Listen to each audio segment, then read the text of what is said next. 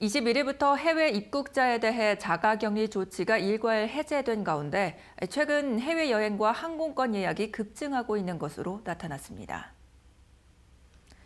인터파크 투어는 정부가 해외 입국자 격리 면제 지침을 발표한 11일부터 일주일간 해외 항공권 예약 인원이 전월 동기 대비 234% 늘었다고 밝혔습니다.